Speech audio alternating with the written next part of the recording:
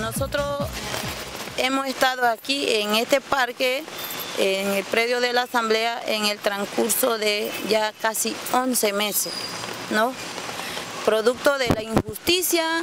eh, eh, y la respuesta que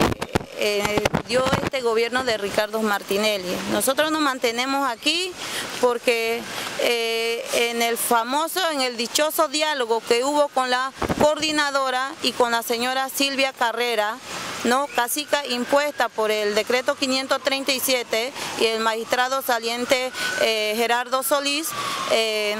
eh, hubo un acuerdo, ¿no? Donde se le iba a hacer justicia a los familiares de los detenidos, de los fallecidos, de los caídos, los detenidos, hasta el momento no se le ha hecho justicia. Entonces nosotros aquí nos hemos mantenido anuentes en espera de que se cumpla ese, ese pacto que se hizo con la coordinadora y con la señora Cásica. Y por otro lado, que también tenemos entendido de que existe la mesa del diálogo por el barro blanco. Nosotros no sabemos por dónde está ese diálogo, si está funcionando, no está funcionando. No hemos sabido nada de parte de la coordinadora ni de parte de la señora Silvia Carrera. No ha salido a explicarle al pueblo Nove qué es lo que está pasando en realidad con este acuerdo o esta mesa del diálogo, porque hemos visto la parte del gobierno a ir a hacer entrega, bono de bolsa, comida y entre otras cosas dentro de las comarcas y planteando de que el proyecto de Barro Blanco es bueno para el pueblo Nove y que esto mismo no le afecta al pueblo Nove. Eh, es normal y, lastimosamente el pueblo panameño a esta altura con toda la injusticia que se ha cometido contra este pueblo humilde, este pueblo rico en naturaleza, en los recursos,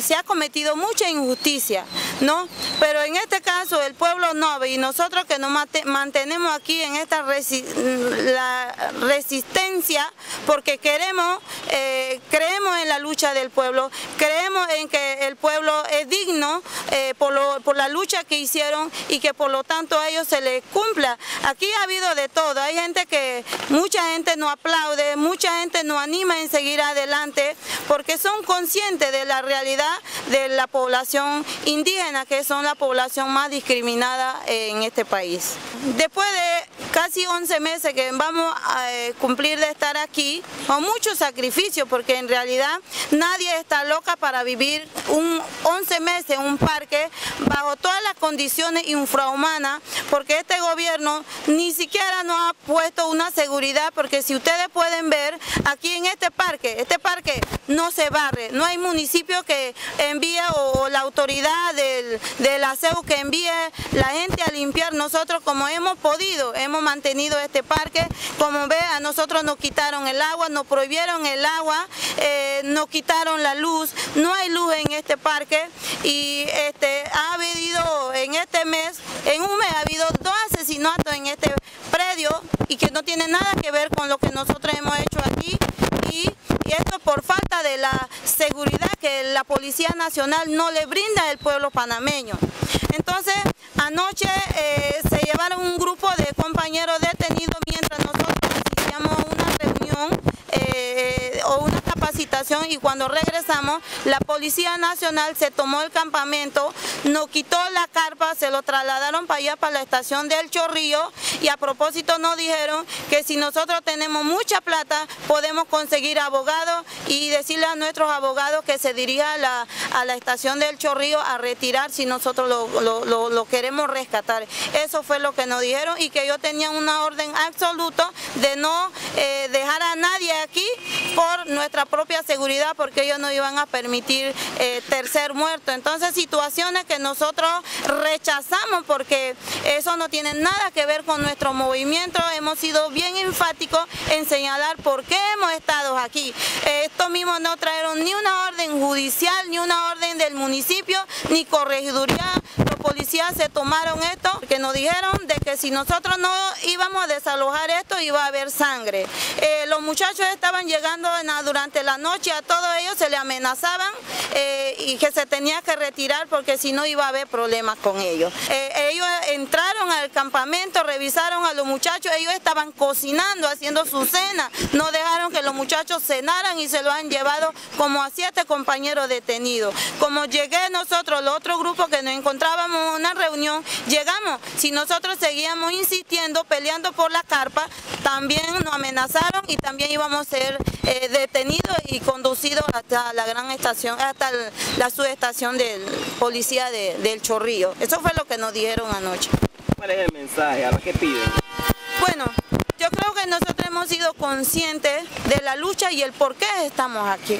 Le pedimos al pueblo panameño, en sí nosotros hemos estado aquí en el transcurso de 11 meses. Aquí no le hemos pedido, pero un paquete de café a los diputados para nuestros compañeros aquí que asisten aquí. Aquí no molestamos a nadie, al contrario, hemos estado aquí haciendo un trabajo con la sociedad y con nuestro propio indígena que desconocen de las leyes, desconocen porque no hay divulgación de parte del gobierno ni lo político menos le interesa. Entonces yo creo que todo esto que se ha dado últimamente son situaciones políticas, pero yo le quiero mandar un eh, mensaje a los políticos. Ustedes si son políticos hagan su, su trabajo política limpia, porque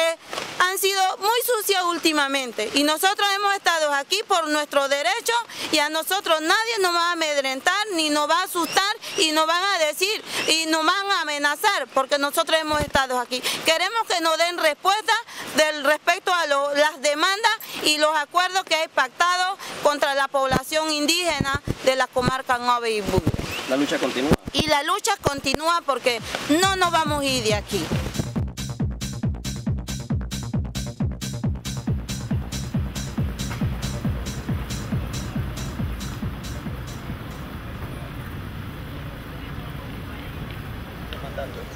Bueno, en tres momentos, uno rechazando la forma como actúa la Corte Suprema de Justicia en detrimento de las personas afectadas, de las víctimas, dándole medida cautelar o resolviendo los procesos de las personas implicadas, más de 27 personas imputadas y a todos le dan, le dan respuesta. Entonces la gran pregunta es quién le da respuesta a la víctima, quién le da respuesta a los familiares de la persona fallecida, ¿por qué no agilizar? ¿Por qué no llamar a juicio de una forma u otra? Así como lo hizo el Pleno de la Corte Suprema de Justicia con el caso de Ana Cruz, también le exigimos que ordene ese llamamiento para, para días pronto. Entonces nosotros frente a eso estamos eh, en el día de hoy rechazando la medida y exigiéndole al Pleno de la Corte Suprema de Justicia que actúe en derecho, que actúe en beneficio y que realmente se haga una justicia real para todas las víctimas y las familias afectadas por el tóxico. Aparentemente aquí la justicia simplemente va a favorecer a los grandes empresarios, a los jerarcas, a los políticos que hacen vida social o vida pública con relación a, pues, a los gobiernos. Sin embargo, nosotros estamos preparados para seguir la lucha, para seguir las acciones de fuerza no solamente en la capital, sino también lo vamos a tratar a nivel nacional.